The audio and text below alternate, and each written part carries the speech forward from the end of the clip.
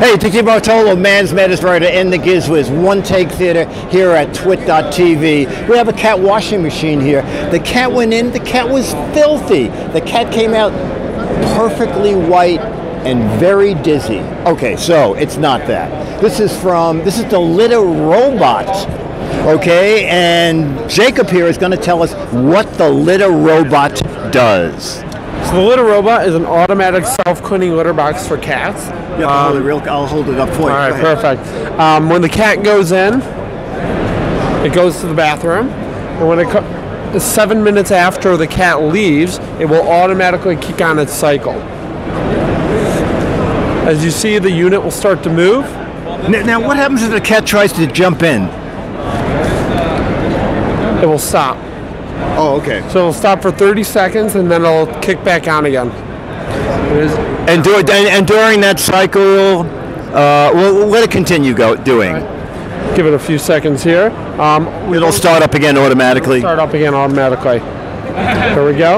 Um, another feature that I'll show you in a minute here is that at, as soon as it does activate, it will also send a notification to you using our new mobile app that will come out this year, and it'll tell you the activity of your cat.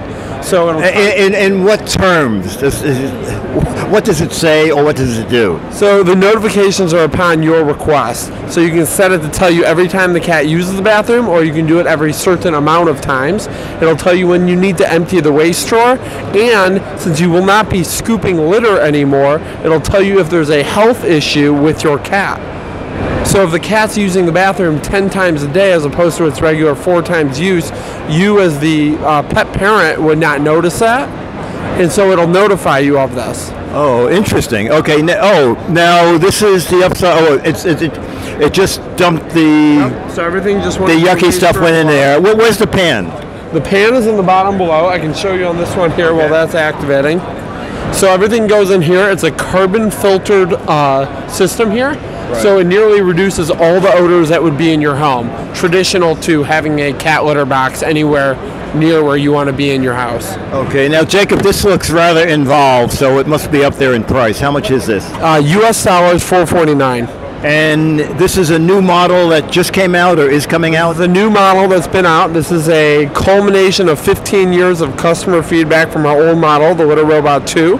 This is called the Litter Robot Open Air, and it's available on our website. Okay. And your website is www.litter-robot.com. litter-robot.com. Okay. Thank is- you. Thank you. Very good.